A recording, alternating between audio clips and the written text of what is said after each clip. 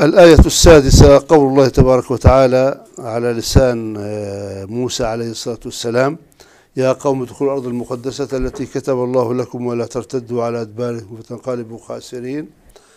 آه، طبيعي هذه يعني خاطب فيها موسى عليه السلام قومه بني إسرائيل خاصة المؤمنين من بني إسرائيل.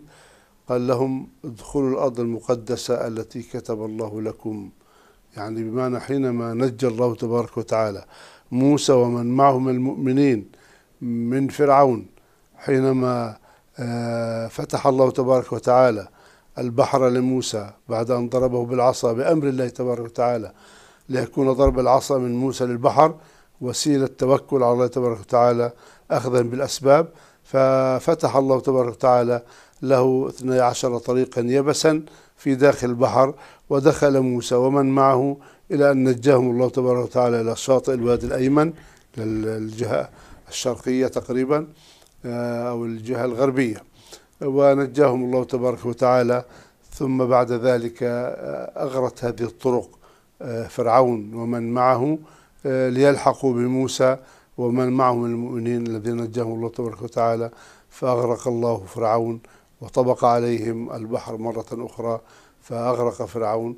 وكان فلذلك موسى عليه السلام أمر قومه هؤلاء أن يتوجهوا بعد نجاتهم من فرعون إلى الأرض المقدسة. والمراد بالأرض المقدسة فلسطين كما قلنا في الأول بيت المقدس القدس ثم فلسطين ثم بلاد الشام كما وسار هو في الطريق معهم هو أخوه هارون عليه الصلاة والسلام. لكن طبيعي نظرا لأن بني إسرائيل لم يأخذوا بهذه الوصية ولم يأخذوا ولم يستمروا على إيمانهم بموسى وبالله تبارك وتعالى في بعد أن نجاهم الله تبارك وتعالى وحينما رأوا قوما يعبدون يعني إلها من دون الله تبارك وتعالى فقال لموسى جل لنا إلها كما لهم آلهة وأرادوا أن يعملوا حينما غاب يعني موسى بأمر الله تبارك وتعالى حوالي أربعين يوما عنهم ووكل أخاه هارون برعايتهم والمتابعة معهم. آه، طبيعي آه، طلبوا أو عملوا عجلا له خوار وما إلى ذلك وعبدوه من دون الله تبارك وتعالى وكان ذلك بأمر السامري حتى يخرجهم عن عبادة الله وحده إلى عبادة غير الله تبارك وتعالى اللي عبادة العجل وما إلى ذلك من بني إسرائيل.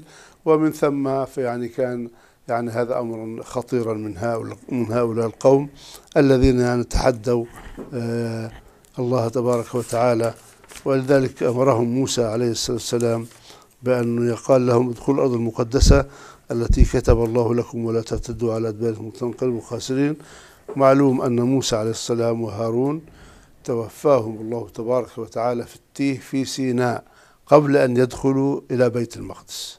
قبل أن يصلوا لأن الذي دخل إلى بيت المقدس هو النبي يوشع بن نون عليه الصلاة والسلام حينما يعني كان خليفة آه، بأمر الله تبارك وتعالى نبيا لبني إسرائيل مع آه، آه، بعد موسى وبعد هارون فدخل ببني إسرائيل من تبقى من بني إسرائيل دخلوا الأرض المقدسة بأمر الله تبارك وتعالى.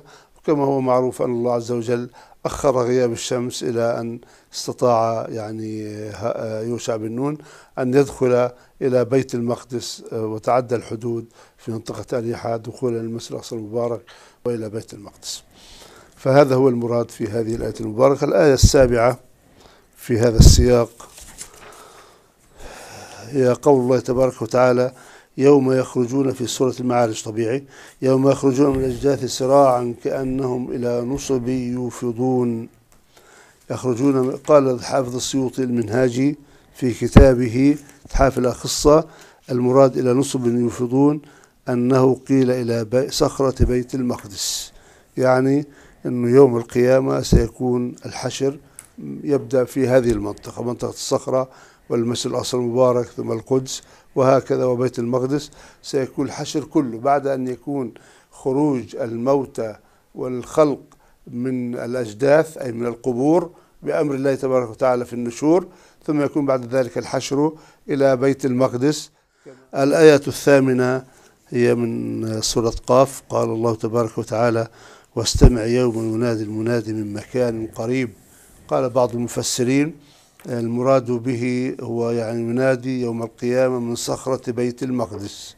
يعني آه، ينادي المنادي يبدو المراد به اللي هو الملك آه، ميكائيل الذي ينفخ في الصور النفخة الأولى اللي هي لإماتة كل الخلق ثم النفخة الثانية للخروج من القبور بأمر الله تبارك وتعالى.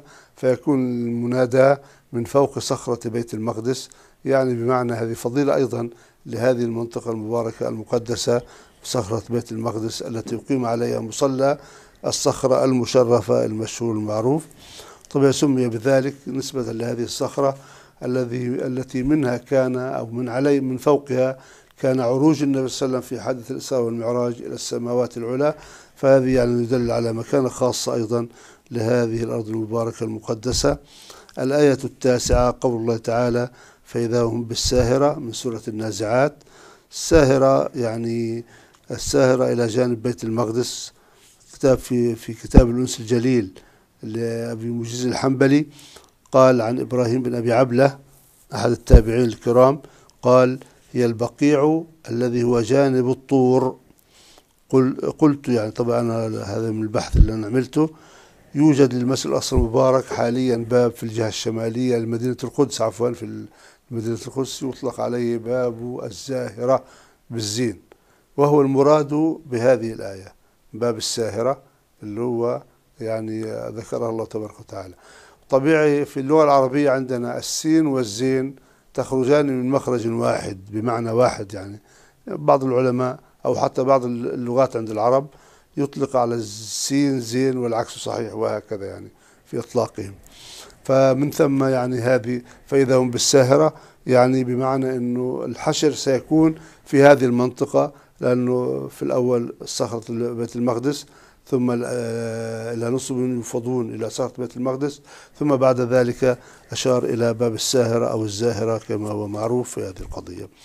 الآية العاشرة قول الله تعالى تبارك وتعالى والتين والزيتون في سورة التين حيث بدأها الله تبارك وتعالى بالقسم بالتين والزيتون والمراد بالتين هو كناية عن آه، دمشق في سوريا يعني عن الشام. والزيتون كناية عن فلسطين وبيت المقدس بالذات نسبة إلى كثرة الزيتون في هذه البلاد المقدسة المباركة.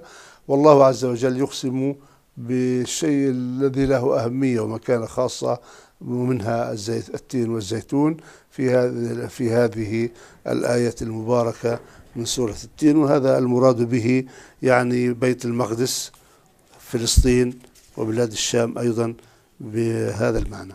عند كثير من المفسرين ذكروا هذه القضية. الآية الحادية عشرة قبل الأخيرة في محاضرتنا اليوم قول الله تبارك وتعالى في سورة الحديد فضرب بينهم بسور له باب باطنه فيه الرحمة وظاهره من قبله العذاب. قال العلماء هو سور بيت المقدس باطنه أبواب الرحمة اللي هو باب الرحمة المشهور المعروف في الجهة الشرقية. في السور الشرقي للمسجد الأصل المبارك وظاهره وادي جهنم. من باب الرحمة في واد بنزل بيمتد إلى الجهة الشرقية ثم الجنوبية. واد سحيق هذا يطلق عليه كان وادي جهنم وهو الواد الذي طل عليه آه، معاذ بن جبل الصحابي الجليل حينما أتى إلى بيت المقدس وصلى فيه فنظر إليه راه عفوا عبادة بن وليس يعني معاذ بن جبل.